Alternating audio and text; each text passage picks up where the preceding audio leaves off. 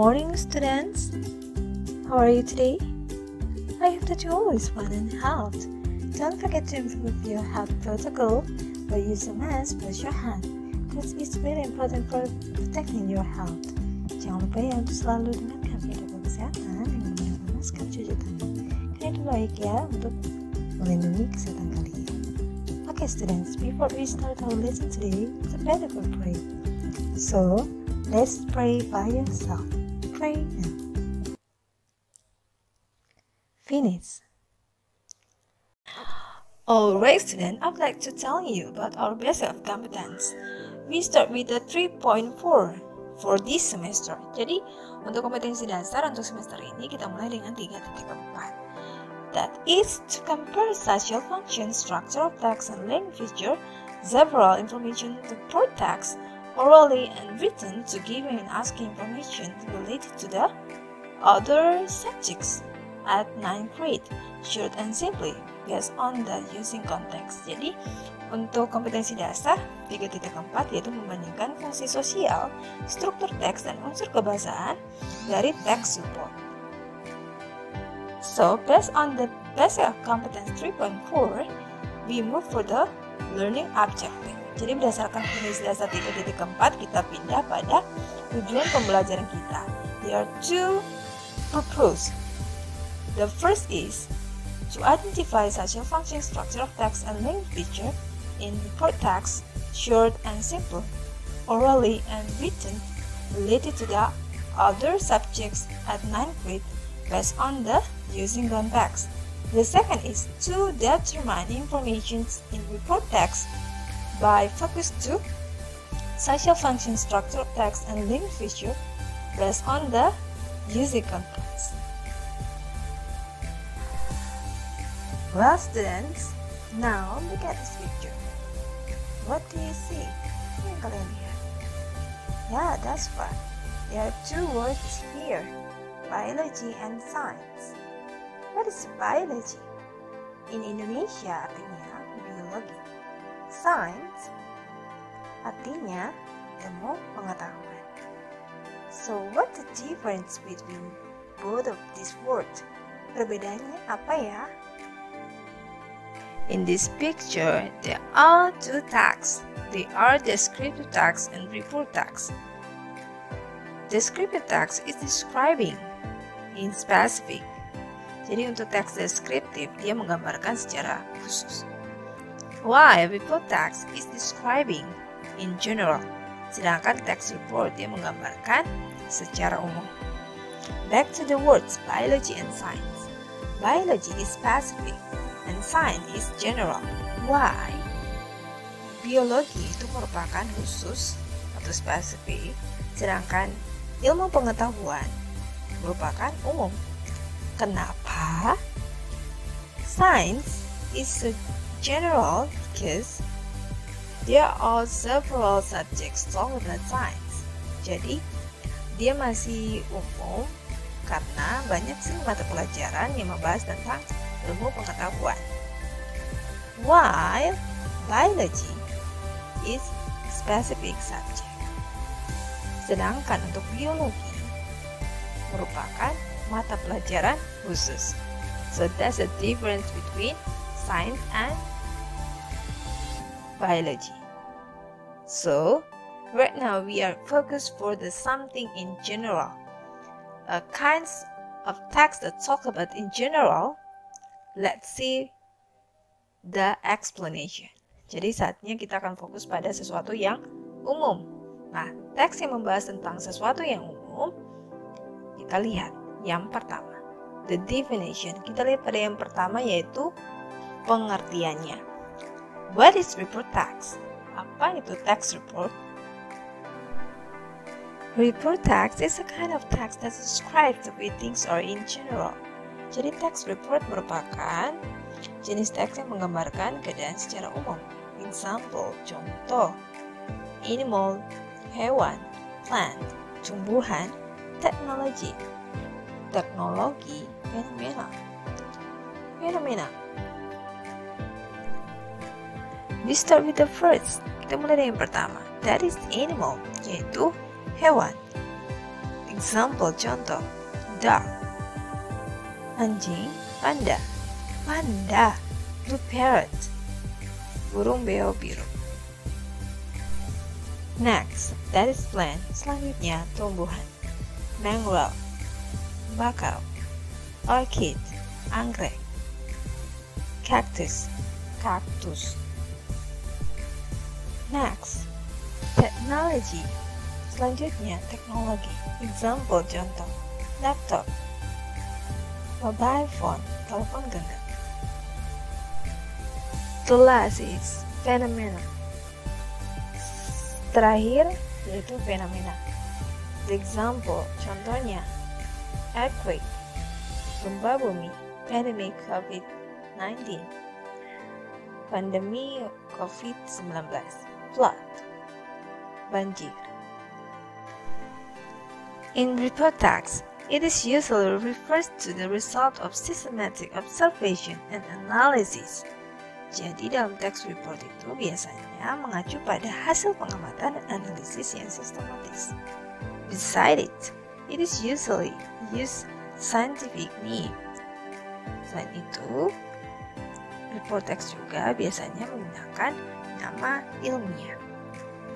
Types of report text Jenis dari text report There are four types, ada empat jenis. The first is animal. Yang pertama adalah hewan. The second is plants. Yang kedua adalah tumbuhan. The third is technology. Yang ketiga adalah teknologi. And the last is phenomena. Yang terakhir yaitu fenomena. Example about animals in a text. Contoh tentang hewan dalam sebuah teks that is elephant. This is example. Yaitu tentang gajah. Ini contohnya. Next, about plants. Selanjutnya tentang tumbuhan. Example is a cactus. Contohnya adalah cactus. A cactus is singular, while cacti is plural.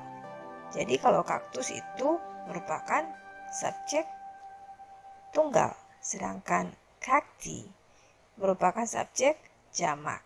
Oke, okay, next. Technology. Selanjutnya, teknologi. One of the example is laptop. Salah satu contohnya yaitu laptop. There's the text talked about laptop merupakan teks yang berisi tentang laptop. The last is phenomena. The example is earthquake. Yang terakhir yaitu tentang fenomena. Salah satu contohnya yaitu gempa bumi.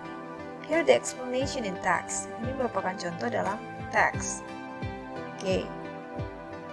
Do you understand? Good. We move for the next.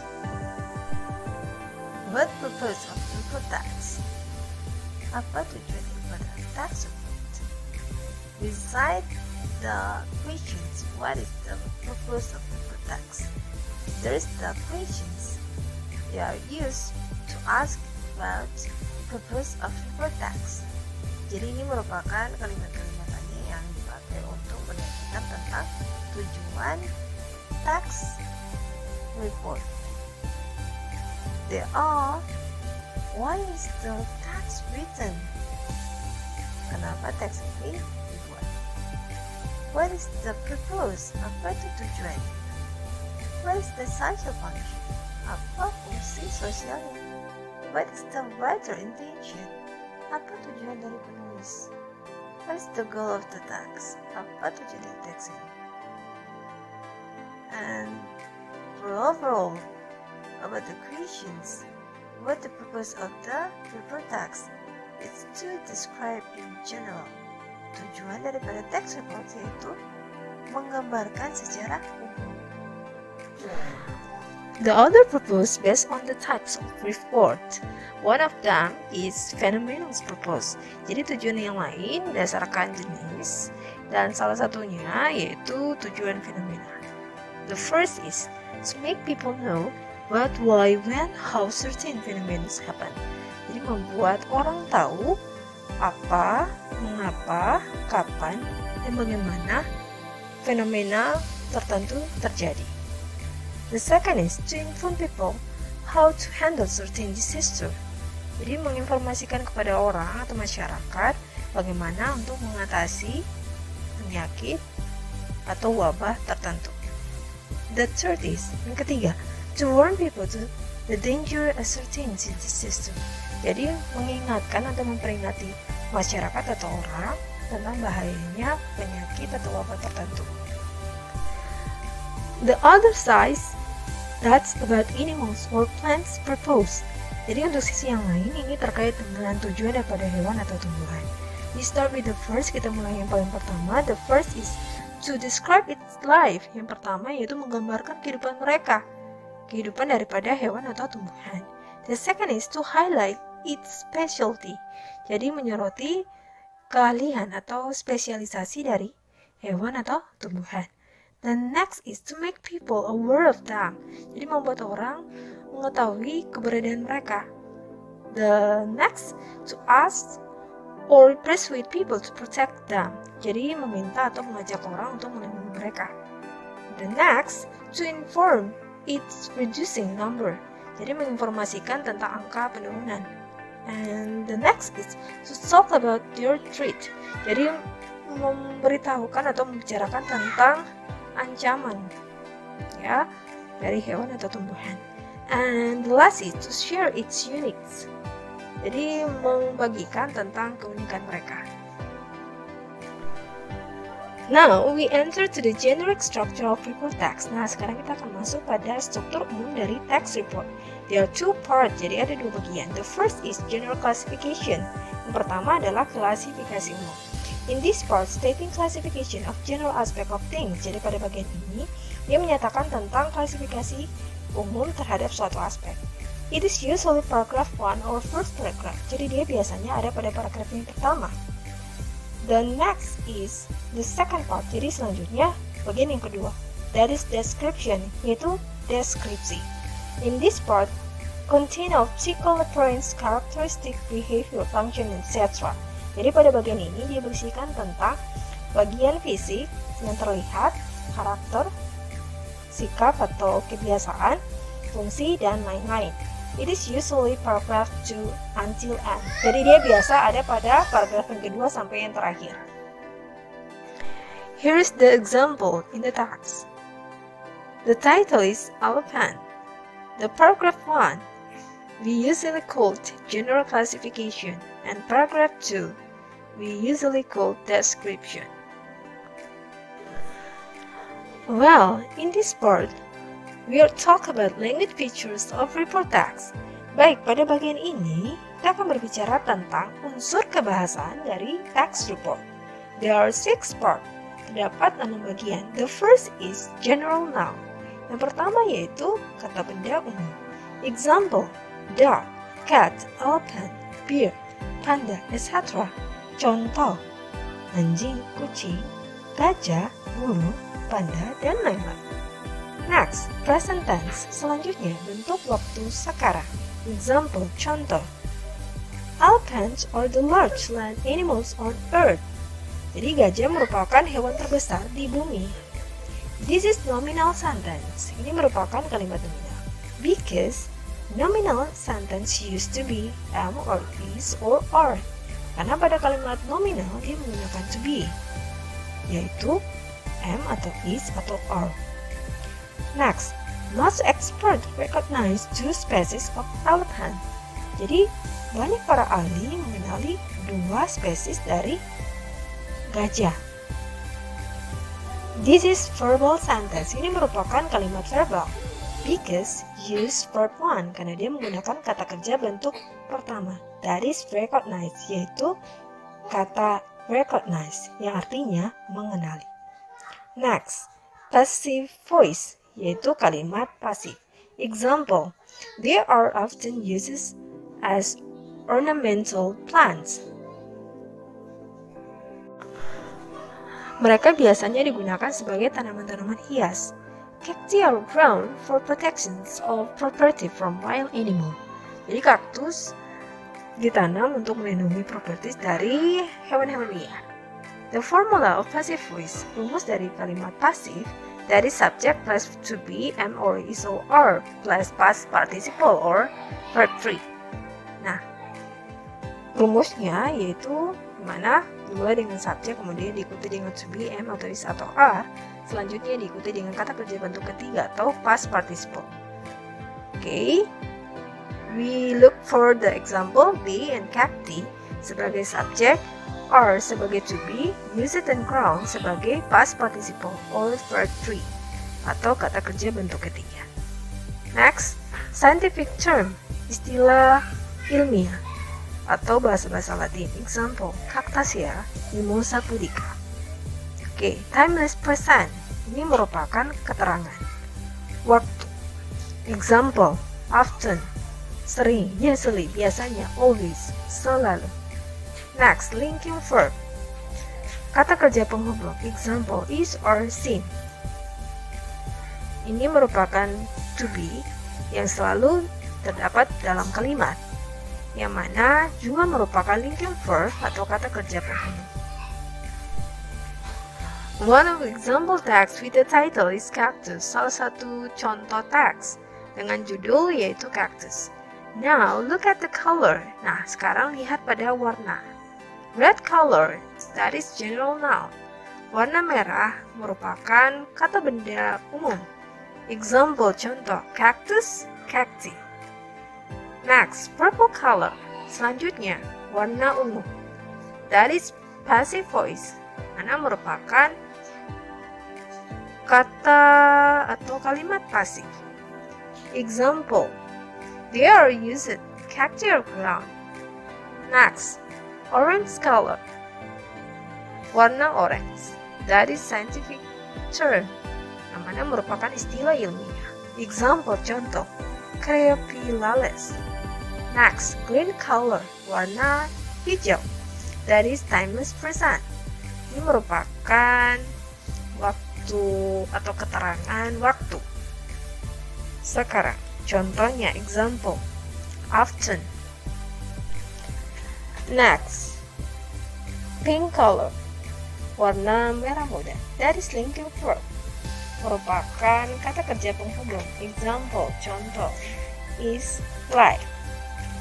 Next, blue color, warna biru dari present tense merupakan bentuk waktu sekarang.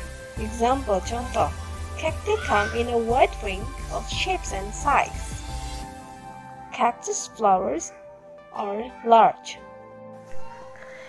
There is the example of question ada contoh soal. The first, from the written text, the writer intention is for. Pertama, berdasarkan teks tertulis ini, tujuan dari penulis yaitu untuk A. Making people know what, why, when, how certain COVID-19 happens. Membuat orang tahu apa, mengapa, kapan, bagaimana COVID-19 tersebut terjadi.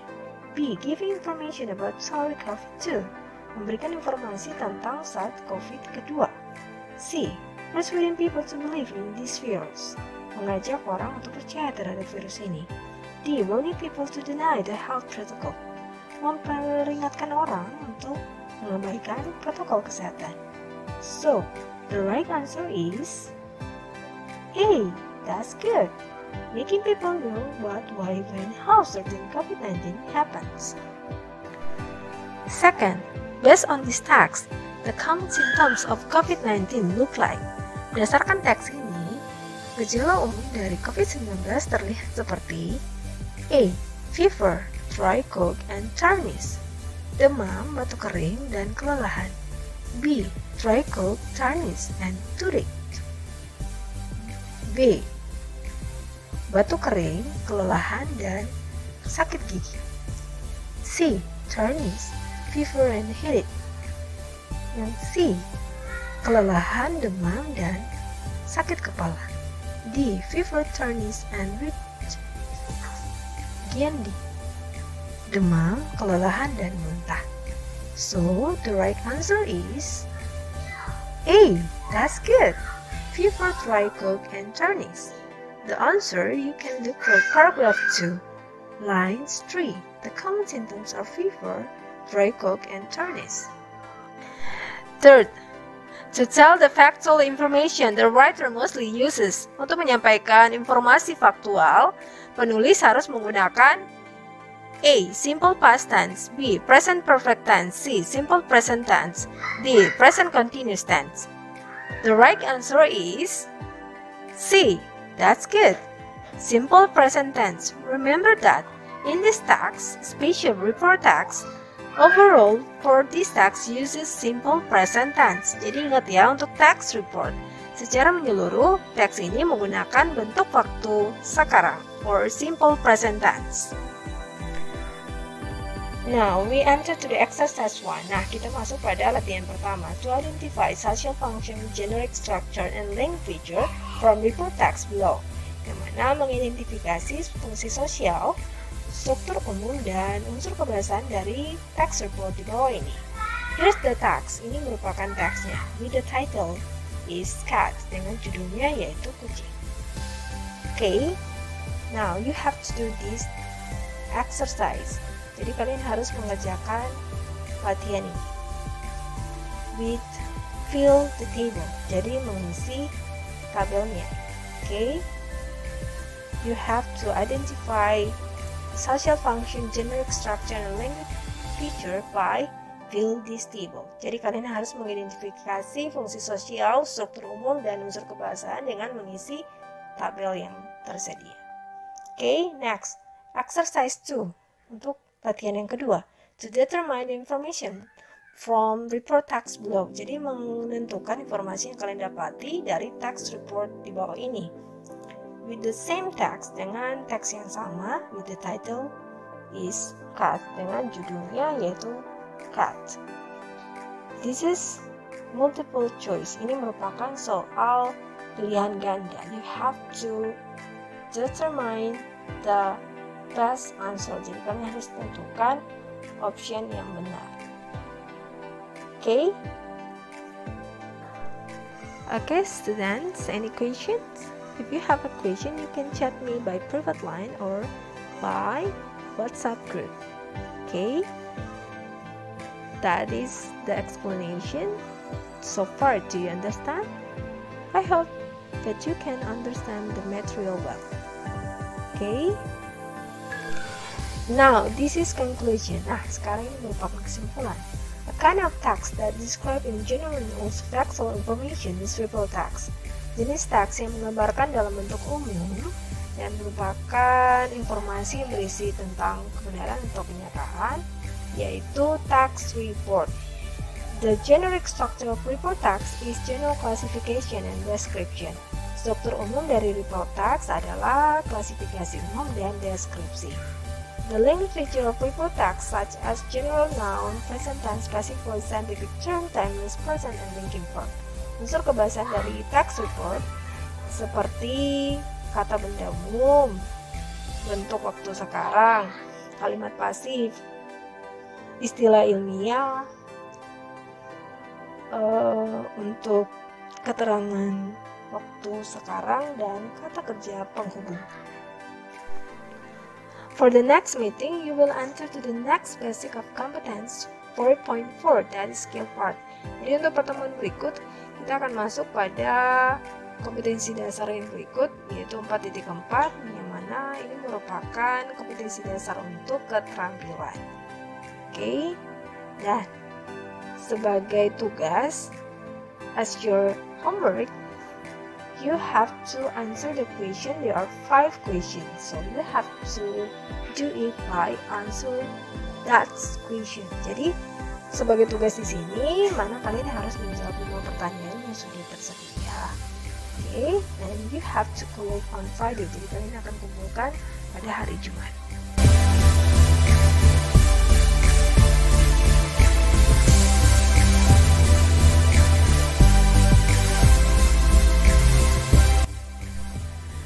Well, students, before we closing our lesson today, let's pray by yourself. Pray now. Finish. Okay, thank you very much for your participants. See you for the next meeting. Bye bye.